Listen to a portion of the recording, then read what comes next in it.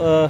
Daljit Singh ji ex vice chairman Kisan board ਉਹਦੀ ਸਦਾਰਤ 'ਚ ਅੱਜ ਮਿਲਣੇ ਗਏ ਦੇ ਹੈ ਸਰਕਾਰ ਕਰਨੇ ਗੱਲਬਾਤ ਕਰਨੇ ਗਏ ਦੇ ਹੈ ਕਿ ਜਿਹੜਾ ਕਿਸਾਨੇ ਦਾ ਇਸ ਵਾਰੀ ਇੱਕ ਵਾਰੀ ਐਂਡ ਨਹੀਂ ਉਸ ਵਾਰੀ ਉਸ ਦਿਨ ਚਾਰ ਵਾਰੀ ਐਂਡ ਪਈ ਹੈ ਔਰ ਕਿਸਾਨੇ ਫਸਲ ਦਾ ਨੁਕਸਾਨ ਤੇ ਨਰਦਵਾ ਇਲਾਕੇ ਹੋਏ ਲੇਕਿਨ ਜਿਹੜਾ ਆਪਣਾ ਕੰਢੀ ਖੇਤਰ 'ਚ, ਜਿਹੜਾ ਮਾਂ ਹੈ, ਮੋਠ ਹੈ, ਨੋੜਵਾਲ ਸਾਡੇ ਏਰੀਏ 'ਚ ਕੁਲਥ ਹੁੰਦੇ ਨੇ ਉਹ ਮਥਵਾਰ ਜਿਹੜੀ ਰੀੜ ਦੀ ਹੈ, ਇਹ ਸਾਰੀ ਫਸਲ ਤਬਾਹ ਹੋਈ ਹੋਈ ਹੈ। ਉਹਨੇ ਆਖਿਆ ਕਿ ਆੜੇ ਵਾਸਤੇ ਇੱਕ ਸਪੈਸ਼ਲ ਪੈਕੇਜ ਹੋਣਾ ਚਾਹੀਦਾ ਔਰ